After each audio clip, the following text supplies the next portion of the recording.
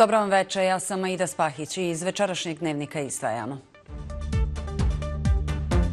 Ponovo oboren crni rekord. U zemlji više od 2200 novozaraženih. U federaciji pooštrene mjere. Članice Evropske unije diskutiraju o sankcijama domaćim pravnim i fizičkim licima. Očekuju se i one pojedinačnih članica bloka. Porezna uprava federacije zabilježila uspješnu godinu. Za to vrijeme inflacija i rast cijena pogodili građane. U posljednja 24 sata u Bosni i Hercegovini zabilježen je značajan porast broja novozaraženih koronavirusom. Potvrđeno je čak 2269 novih slučajeva covid -a. U federaciji je zabilježeno 1715 novih slučajeva, u RS-u 393 i u Brčko distriktu 161 novi slučaj. Od jučer je u našoj zemlji od posljedica zaraze preminulo 19 osoba. Izvolite. Epidemiološko stanje u Federaciji je zabrinjavajuće jer je broj zaraženih u odnosu na prošlu sedmicu porastao za 98 odsto, objavio je federalni krizni štab. Zbog toga su uveli nove restrikcije. Okupljanja u zatvorenim prostorima su sada ograničena na 30 osoba, a ukoliko se dešavaju uz pravilo VTP do 60 ljudi. Broj ljudi na otvorenom je maksimalno stotinu, a ukoliko se primjenjuje VTP pravilo, onda može biti i do 200 ljudi. Došlo je do promjene i u COVID potvrdama. Ukoliko ste preboljali koronavirus, potvrda vrijedi 4 mjeseca, što je manje za 2 mjeseca. Antigenski test vrijedi 24 sata, a važenje PCR testa je smanjeno sa 72 sata na 48 sati. U ovome valu, kada je doista niska procijepljenost, nezadovoljavajuća. I e, jedina nam mjera ostaje još da radimo na znači, zaštitnim mjerama. Zbog toga doista pozivamo svo stanovništvo da pristupi odgovorno u ovom trenutku i da pokažemo puno više solidarnosti jedni između drugih. Tri nedelje došlo je do velikog porasta. Sa 2200 ljudi došli smo na broj oboljeli od 7200. Očekuje se u narednom periodu i porast ovaj. Stoga apelujemo na sve ljude da se drže mjera i preporučujemo da izbjegavaju prevoze gradskim saobraćajnim preduzećima, da pokušaju maksimalno da iskoriste, da izbjegavaju sve gužve, sve bespotrebna okupljanja, pa ja bih rekao i odlaske na mjesta gdje ima više ljudi ukoliko to nije potrebno. Na međunarodni aerodrom Sarajevo jutros je stigla američka donacija od 96.000 doza vakcine proizvođača Moderna. Riječ je o drugoj isporuci vakcine Moderna našoj zemlji nakon donacije Hrvatske koja je donirala 70.000 doza. Bosni i Hercegovini je do sada ukupno isporučeno više od 3 miliona i 600.000 doza vakcina.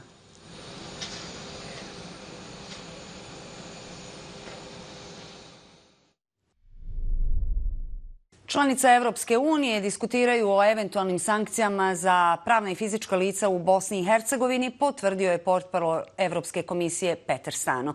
Stano je još jednom ponovio stav Evropske unije da osuđuju negativnu retoriku podjela. I dok međunarodni zvaničnici izražavaju zabrinutost, evropski analitičari smatraju da lider SNSD-a upozorenja ipak ne shvata ozbiljno. Koliko je ozbiljna situacija i da li građani imaju razloga za strah, pogledajte u priči Belmine Čorbić. Dešavanja tokom vikenda u Banjoj Luci, ali i ostatku entiteta RS osudili su iz Europske unije. Svaka negativna retorika koja izaziva podjele te zapaljive poruke rukovodstvo RS-a samo je dodatno pojačalo tenzije među narodima u Bosni i Hercegovini te produbilo političku krizu, navode iz Unije. Svi moraju biti svjesni da to nije prihvatljivo za Evropsku uniju. Ako zemlje i ako partneri u procesu pristupanja u našem neposrednom susjedstvu na Zapadnom Balkanu nastave sa takvim ponašanjem, to će se odraziti na njihove napore da se približe Evropskoj uniji.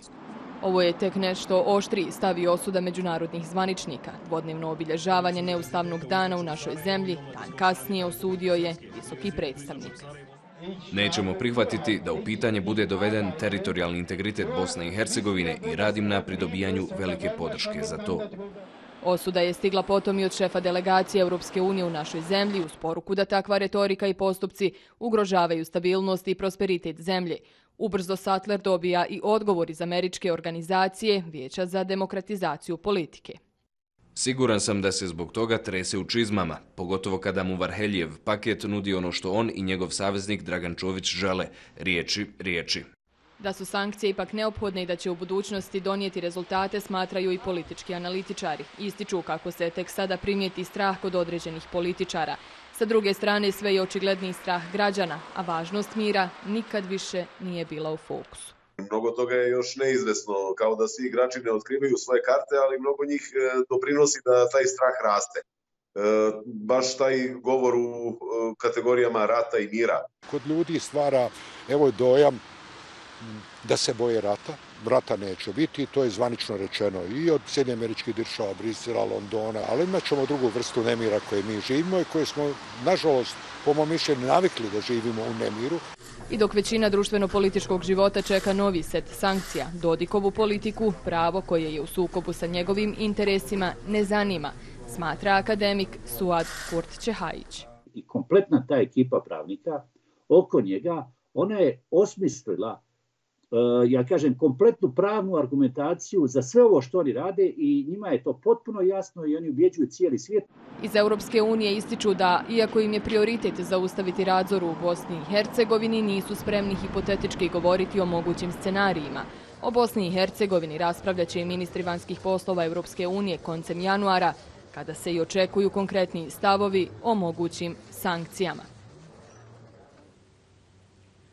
Ministar odbrane Bosne i Hercegovine Sifet Pođić naložio je pokretanje postupka protiv njegovog zamjenika Mirka Okolića te pet visokih oficira oružanih snaga Bosne i Hercegovine koji su prisustvovali proslavi Dana Republike Srpske kojeg je Ustavni sud Bosne i Hercegovine dva puta proglasio neustavnim. Pođić je kazao da je postupke pokrenuo na osnovu prijava etičke linije tog ministarstva te na osnovu snimaka sa obilježavanjem smatranje spacijalnim uređajima namjenjenim za... Ja sam načelnik u zajedničkog štaba Oruženih snaga Bosne i Hercegovine, generalu Mašoviću, naredio da pokrene postupak protiv e, svog zamjenika generala Kneževića, protiv komandanta operativne komande generala Ilića, protiv brigadira Jovića, komandanta 6. brigade, protiv brigadira Kršumovića, komandanta 3. puka i e, protiv brigadira Dunovića, e, zamjenika komandanta komande za podršku.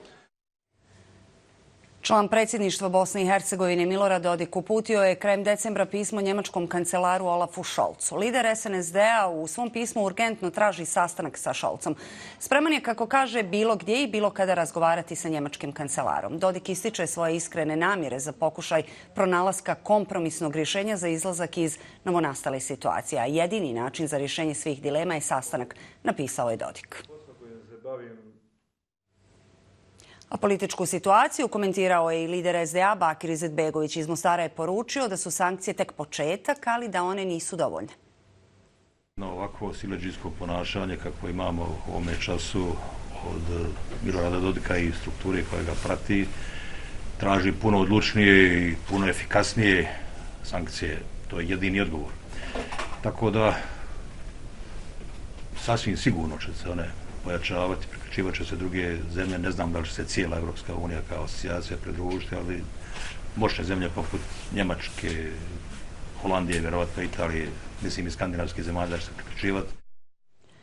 A Bakir Izetbegović se sinoć sastao sa predsjednikom HDZ-a i premijerom Hrvatske Andreom Plenkovićem u Dubrovniku. Kako je nakon sastanka na Twitteru objavio Plenković, dvojac je razgovarao o otvorenim pitanjima između Bosne i Hercegovine i Hrvatske te odnosima Bošnjaka i Hrvata. Sagovornici su istakli potrebu pronalaska konsenzusa o izbornoj reformi te uklanjanje blokada u funkcioniranju institucija. Izetbegović i Plenković su razgovarali i o gasifikaciji Bosne i Hercegovine kroz ubrzanu realizaciju projekta gasovoda Južna Interkonekcija konekcija. U jeku političkih previranja, nacionalističkih ispada prilikom slavljenja neustavnih praznika, ali i oštrih poruka sa protesta nezadovoljnih građana na Trgu Slobode u Tuzli i danas su održani mirni protesti žena Srebrenice. Navele su da posljednja dešavanja u RS-u i napadi na povratnike ne ohrabruju bošnjake u tom entitetu. Pozvale su nadležne institucije, prije svega tužilaštvo, na reakciju, kako su kazale dok još uvijek nije kasno. Ajka Husić je u Srebrenici 1995. godine ostala bez muža i tri sina, koji su ubijeni u genocidu. Kaže da je situacija u gradovima Republike Srpske teška, te da bošnjaci nailaze na razna iskušenja i provokacije, koje će sigurno je prevazići. Ona se ne boji. Pa koji je heroj, nek dođe, da ne dođe danas ovdje da priča. Kad je toliki heroj, ja sam majka ozaločena od četiri sina čovjeka, oko 30, ja nemam familije preći. Provokacije, verbalni i fizički napadi na povratnike u Republiku Srpsku traju od 1995. godine, kaže nam Naza Hasanović. Po njenim riječima, stavovi političara iz Republike Srpske direktno utiču i na građane ovog entiteta, koji i prave incidente. 2000 i neke vratila se, dobila donaciju, sve cestom idu, dižu tri prsta, znaju da smo mi bošnjaci tamo dobili donaciju, vratili se, popravljamo, želimo da se vratimo našim kućama, oni nas provociraju od 95. do, do, do kraja života. Republika Srpska je entitet i Bošnjaka i Hrvata i Srba i nikakva nacionalistička retorika ne može promijeniti tu činjenicu, kaže Vasvija Kadić. Posebno je razočarana potezima člana predsjedništva Bosne i Hercegovine Milorada Dodika. Ja ne mogu reći da je Dodik gospodin. Kako će biti gospodin? Kako će on negirati prvo i prvo genocid? A kako će on prisvajati Srpsku republiku? Znači, ja sam iz Srebrenci.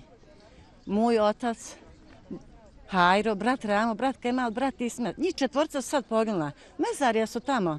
A ne, ne govorim za mnogobrojnu rodbinu. Odnosno, za djedove, pradjedove. On, Kako? Znači, nikad u životu, u jednom kontekstu, on ne spominje samo svoj srpski narod. Gdje su Hrvati tu? Gdje su Bošnjaci? Ne može Srpska republika biti sam njegova. Zbog negativnih poruka i stavova iz Republike Srpske, važno je istrajavanje žena Srebrenice da u Tuzli svakog 11. u mjesecu organizuju proteste na kojima podsjećaju cijeli svijet na strahote koje su se desile u cijelom podrinju, posebno Srebrenici. Pa teško je to nas, stvarno se teško nas je to poudarilo, ali eto, mi smo svako 11. ovde, dolazimo, obilježavamo ićemo do zadnjih dana. Ali ovo što radi, nekim bude srao. Nacionalističko orgijanje u Prijedoru, Foči i Janji negativno utiče na povratnike u cijeloj Republici Srpskoj, ali kako nam je kazala jedna od učesnica današnjeg okupljanja, ne bojimo se, jer čega se još može bojati majka koja je izgubila tri sina. U nastavku o političkoj situaciji u Bosni i Hercegovini, proslavama i protestima govorimo sa diplomatom i historičarom Slobodanom Šojom. Dobroveče, dobrodošli. Dobroveče, hvala vam. Evo, svjedoci smo posljednjih dana, zaista turbulentnih dana kada govorimo o Bosni i Hercegovini. Od proslave tamo u RS-u neustavnog dana, raznih provokacija prema, upućenih prema bošnjacima. Održani su protesti širom svijeta BH građana koji su zabrinuti. Trebamo li biti zabrinuti. Kamo sreće da ne trebamo. A ono što je najtužnije je to što su prošli ipak 25 godina. Kada malo mi istoričari pogledamo šta se dogodilo 25 godina u nekim zemljama koje su se suočile sa teškim nekim izazovima kao što su ratovi, vidjet ćete primjere gdje su sasvim drugačije stvari. Pogledajte samo Jugoslaviju od 45. šta je bilo 25 godina poslije toga i sve će vam biti jasno. Kod nas je, nažalost, ostao taj virus nacionalizma i mržnje koji se nikada nije ugasio. I sada stvari, šta se dešava? Dešava se da mi i dalje govorimo istim stvarima, pripremamo se za neke nove ratove, kao da nema pametnijih ljudi od ove zemlje da kažu da je u stvari normalnije da radimo nešto drugo. Ja bih i kao Srbin naravno morao da uh, iskomentarišem ovo što se dogodilo u Banja Luci. Balašević kaže parada pijanstva i kiča, nije baš bilo pijanstvo, ali kiča je bilo mnogo. Uh, pijanstvo nekog opijenosti, možda bi bolje reći kazati. Ovaj, to je toliko sve neukusno bilo, to je sve antisrpsko, ako hoćete a naravno da i protiv drugih, ali prije svega ja sam u temu vidio jedan atak na neku srpsku tradiciju i kulturu koja je mnogo bolja nego što su je predstavili oni koji danas a, predstavljaju Republiku Srpsku. Mislim da bi bilo dobro da je recimo neko imao ideju da obiđe jedno 30 kuća srpskih u Republici Srpskoj, diljem Republike Srpske, od sjevera, juga, istoka, zapada, svukuda, i da razgovara malo sa njima gdje su oni danas, šta misle o Republici Srpskoj i vidite da ćete u stvari vidjeti ljude koji nemaju hljeba, Dakle, ako je Republika Srpska poslije 25 godina postala Republika bez hljeba, onda to ne vrijedi ništa. Ne vrijedi ni jedno ime od te Republika ni Srpska. Dakle, mora se o tome početi malo drugačije razmišljati. Istovremeno, mislim da je ovo Dodikov neki, možda njegova opraštajna želja. On je ove godine napravio jedan koktel, jedan veliki, u stvari, prijem, tribinu i svašta sve što je bilo u sklopu svega toga.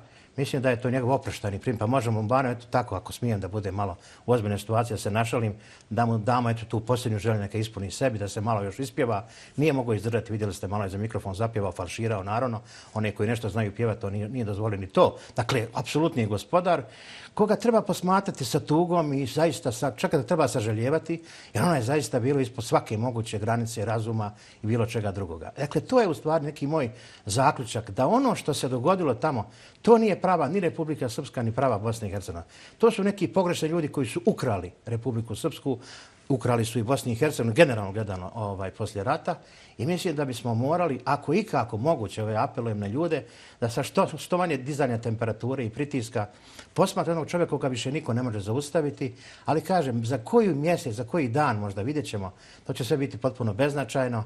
On je na završetku svoje karijere, jer eh, ovako zaista više ne može.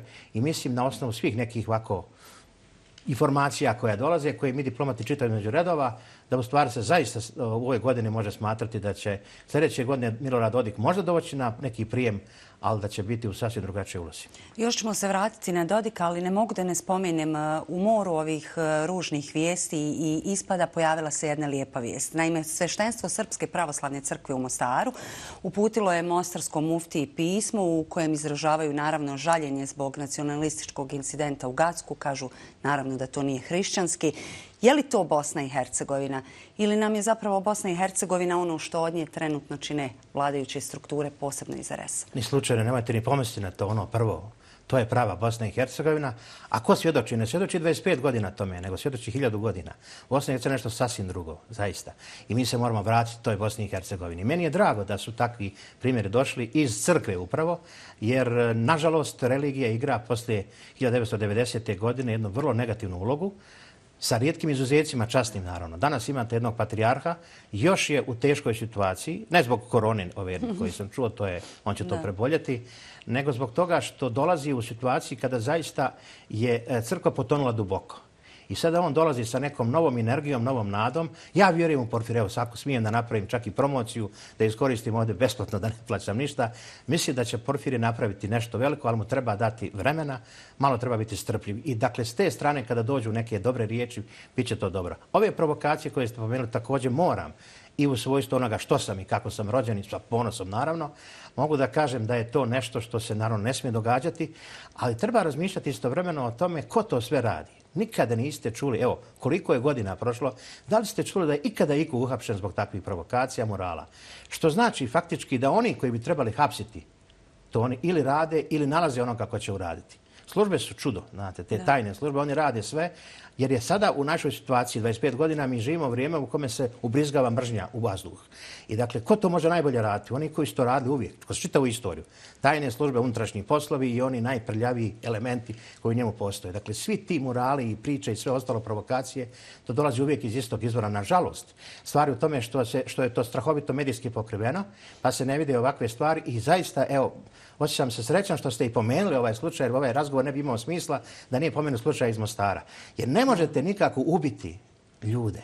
Ne možete ubiti ljudsko u ljudima, u nekima da. Ali šta je cilj, ono rješenje? Nemojte uopšte razgovarati s onima koji nemaju u sebi ništa ljudskoga. Dakle, Milorad Dodik nema u sebi ljudskoga ništa. On je to pokazao svoje posljednje vrijeme.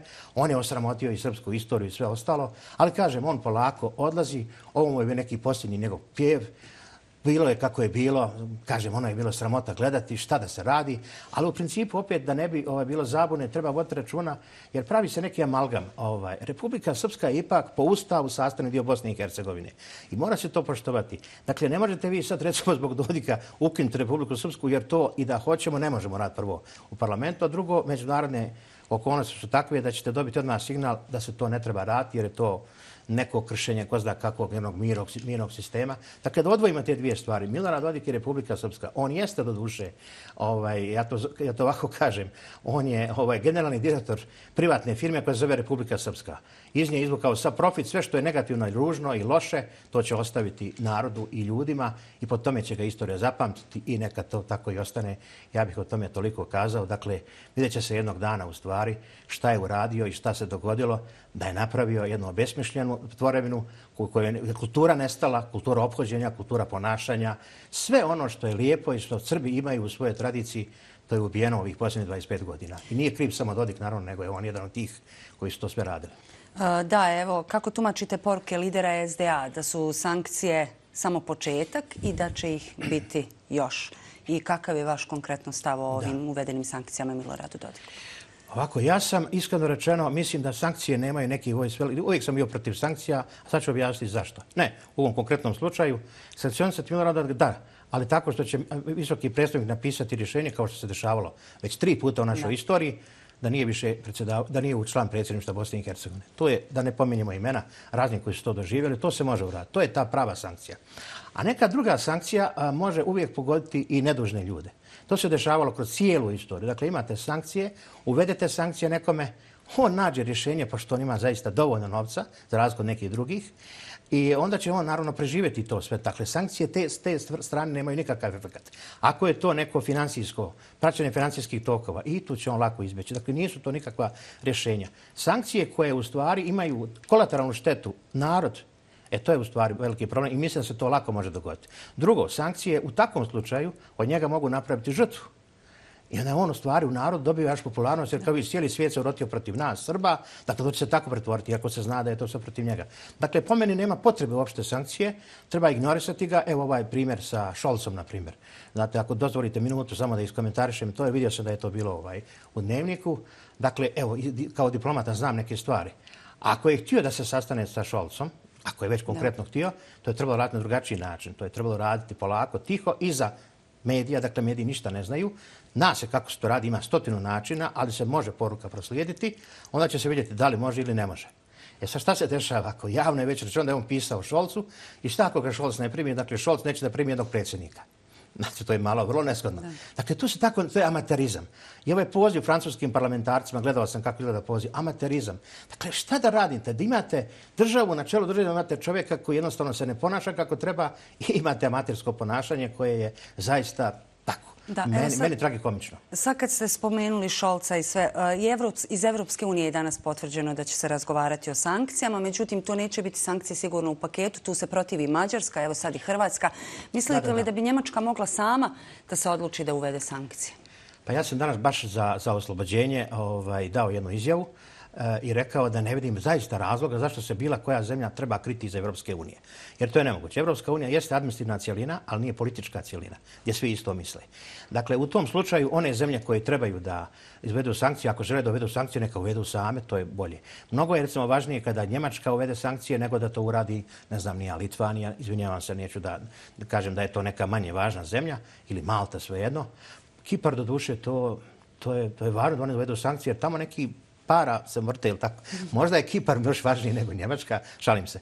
Ali u principu, dakle, nema uopšte potrebe da bilo koja zemlja traži da se sada nešto radi. Mislim da Evropa igra tu malo dvostruku igru, da oni kao nama daju neku nadu, a u stvari se neće dogoditi ništa, bar ja nadam se. Mada nešto, neki vjetrovi novi pušu, pa nije ništa nemoguće, ali ja sam skoro ubeđen da od toga neće biti ništa.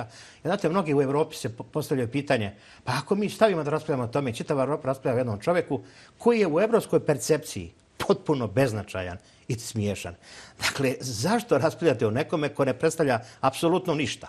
Nikakvu težinu nema ni političku, ni diplomatsku, ni, ni kulturološku, bilo kako drugu. I to je po meni jedan od razloga kome se malo govori, jer ovaj, zašto davati njemu toliki publicitet? On bi, on bi volio u stvari da se to dogodi. kada još vidi, cijela Evropa priča o meni koliko smo mi važni. U stvari ne treba tu. To jednostavno treba zbog toga ignorisati i pustiti da se kaže da je zaista to jedna nevažna ličnost, a to će se uskoro vidjeti. Znam da historičari vole sve da raščlane lijepo, ali molim vas kratko, samo u jednoj rečenici. Trebamo li se bojati rata? Ni slučajno. Dakle, ne postoji niti jedan jedini razlog da se bojimo, niti jedan uslov koji bi se trebao ispuniti da se to dogodi. Neki bi htjeli, naravno, ali kažem, kogod želi, brate, širokom u polje ima ona, kako se ono mjesto gdje ona korida ima bikova, neka idu tamo na te, kako se ono, kad se ide... Čevljanović. E, tamo, tamo, izvolite, kogod želi širokom u polje, neka ratuje, a mi ćemo ovdje taman, fino će još dobro biti da se mi ovaj, okripimo malo poslije svega toga i da kažemo, e, sad idemo da pravimo mir. Hvala vam puno što ste bili naš gost. Hvala na pozivu. Porezni obveznici u Federaciji su u 2021. godini uplatili rekordnih 5,6 milijardi maraka. Direktor Porezne uprave Federacije Šarif Isović izjavio na godišnjoj preskonferenciji da će uprava nastaviti aktivnosti na smanjenju sive ekonomije i povećanju porezne discipline. Pozvao je obveznike da pravovremeno i tačno prijavljuju svoje porezne obaveze, da posluju legalno, da svoj novac koriste za razvoj, za isplatu plaća za poslenicima, a ne da zarađeni novac troše na plaćanje kazni i kamata.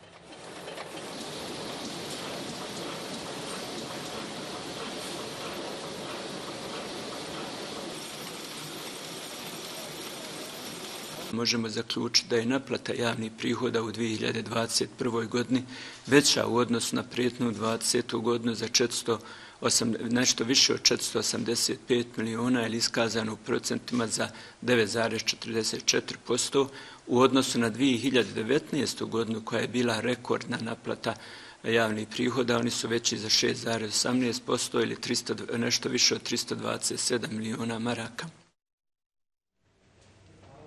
A dok Porezna uprava Federacije bilježi rekorde, inflacija i rast cijena energenata doveli su do lančanog poskupljenja svih pa i prehrambenih artikala. Time su porasle i cijene u ugostiteljskim objektima. Naša Adna Ganibegović provjerila je koliko su novi nameti ugrozili poslovanje ugostitelja, ali i mogućnosti građana da ih posjećuju. Koronavirus je ugostitelje na Sarajevskoj Baščarši već ranije bacio na koljena, a sa novim rastom cijena namirnica rastu i cijene ugostiteljskih usluga. Jedna slastičarna bila je primorana da digne cijene svojih slastica, ali to se odrazilo i na broj kupaca. Poskupili su od marku, marku i pa možda sve zavisi koliko nam je neki artikl poskupio koji mi koristimo za taj proizvod. Mi smo najviše bazirani na palačincima gdje koristimo sirovine koje dobavljamo iz inostranstva. One su naravno poskupile najviše. Dobavljači naravno dižu cijene jer njima su cijene podignute e, prilikom dobavljanja nama robe. Onda politička situacija, znamo kakva nam je. A naj, najviše jeste korona utjecala na to sve. Poskupili su i pekarski proizvodi. Pojedini artikli sa nekadašnjih 80 feninga na marku i 20 feninga. Kila kafe sa nekadašnjih 6,5 maraka skočila je na 9 maraka. Tako je za 2 do 4 marke porasla cijena mesa, a sa njim i cijene u ćevabđenicama. Ipak pojedini ugostitelji cijene još nisu digli, ali na vlastitu štetu. Ja nisam ništa cijene digao ovaj, nisam, ne znam ni sam zašto nisam, sve je skočilo, znači od mjesa, od svih namjernica životnih, svi znate. Pitanje dana kad ću dići, radim, kako se kaže, u propast, ali sad ću. Ne, znam da narod nema novaca, znam da ovo da ono, nagurat ću dok mogu. Teletna je četiri marke skočila, junetna dvije marke. Ovaj, šta je sa hljebom, luk, čumur, struja, voda, vjerovatno će više skočiti sve, sve, sve. Znači, ja ću možda biti prinđen da podignem cijenu. Iako nema prometa, jer kako kažu, narod nema novca, ugostitelji su zbog nameta primorani dizati cijene. Pitali smo i građane mogu li oni sebi priuštiti poskupjele obroke u restoranima. Pravo da vam kajem, ne znam ni kakva je cijena. Ja jedem kod kući. Možemo. Možemo. Zato jedem u četiri dana makarone. Ponekad sve je poskupilo, ali šta možemo, nadamo se i penzije da će se povećati. Ipak posjećenost ugostiteljskih objekata nije kao ranije, tako je i njihova budućnost neizvjesna. Tako ja ne znam kako će budućnost biti u ovom poslu. Vjerujte da je vrlo, vrlo teško, vrlo, vrlo teška budućnost. Stvarno dosta opada posao i dosta ono, kad dođu i vide cijene, ono, a okej, okay, vidimo se drugi put. Dok se čekaju novi nameti i rezultati poskupljenja, ugostitelji sa Baščaršije se nadaju da će vrtoglavo dizanje cijena ući u stabilni period kako bi odahnuli. Do tada oni sa osmijehom, kako su istakli, idu u propast. U Luci Ploče zaplijenjena je najveća količina heroina ikad u Hrvatskoj, objavila je policijska uprava Dubrovačko-Neretvanska. Zaplijenjeno je 220 kg heroina, a pronađena su i 62 kg kokaina ulične vrijednosti od oko 17 miliona eura. Riječ je o dvije nepovezane akcije izvršene ranije, ali je policija odlučila sada predstaviti rezultate.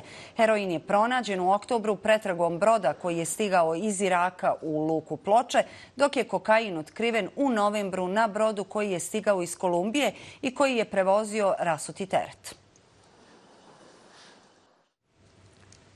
Kazahstanski predsjednik Kasim Žomart Tokajev imenovao je Alihana Smailova za premijera. Tokajev je 5. januara usred eskalirajućih protesta zbog povećanja cijena goriva raspustio prethodnu vladu. Kontingent mirovnih snaga ODKB-a koji je raspoređen po većim gradovima Kazahstana i dalje čuva državne urede, a njihovo povlačenje počinje tek za dva dana. Tokajev je izjavio da je njihova glavna misija završena te da povlačenje neće trajati više od deset dana.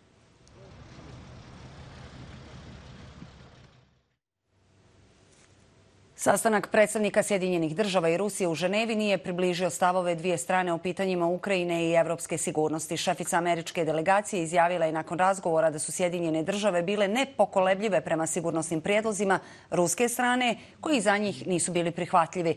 Istakla je da je nedopustivo da se zatvaraju vrata Sjevernoatlantske alijanse suverenim zemljama. Sergej Rybakov, zamjenik šefa ruske diplomatije, je naveo da su razgovori bili kompleksni, te da je potreban iskorak i postizanje kompromisa. Poručio je da Washington ne treba pocijenjivati rizik konfrontacije. Bili smo veoma čvrsti u našim stavovima i odbacili smo sigurnosne garancije koje traži Moskva. One ne dolaze u obzir za Sjedinjene države. Nećemo dozvoliti nikome da pokuša ukinuti politiku otvorenih vrata NATO Saveza, koja je oduvijek ključna stavka alijanse. Objasnili smo kolegama da nemamo nikakve planove ni namjere da napadnemo Ukrajinu i da ih ne možemo ni imati. Razgovor je bio težak, dug, profesionalan, temeljiti, vrlo specifičan. Predsjednik Evropskog parlamenta, italijanski socijaldemokrata David Sassoli preminuo je sinoć u 65. godini. Objavio je njegov glasnogovornik. Jučer iz njegovog ureda objavljena informacija da je Sassoli hospitaliziran krajem decembra uslijed ozbiljnih komplikacija zbog disfunkcije imunološkog sistema.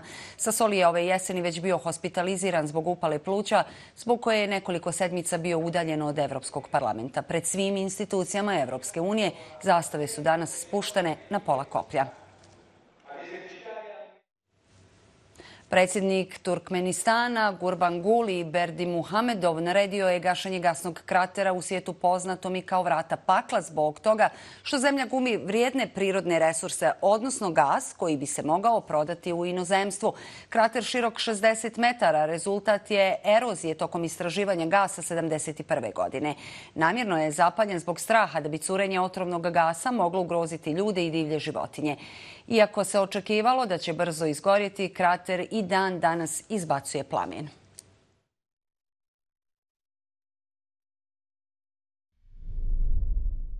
Preminuo je Tomislav Grizelj, vlasnik kompanije Grizelj i čovjek koji se smatra jednim od najuspješnijih BH biznismena. Imao je 69 godina, a vrijeme i mjesto sahrane bit će naknadno objavljeni. Direktno je učestvovao u gasifikaciji grada Sarajeva, izradi i održavanju mašinskih postrojenja za potrebe zimskih olimpijskih igara. Tokom posljednjeg rata učestvovao je u hitnim sanacijama i obnovi Sarajeva, ali i cijele Bosne i Hercegovine. Sponzorirao je konferenciju o obnovi Sarajeva 1994. godine. Dobitnik je brojnih priznanja, među kojima je i 6. aprilska nagrada grada Sarajeva 2005. godine. Gledali ste dnevnik, ostanite uz naš program. Za nekoliko minuta slijedi pregled dana.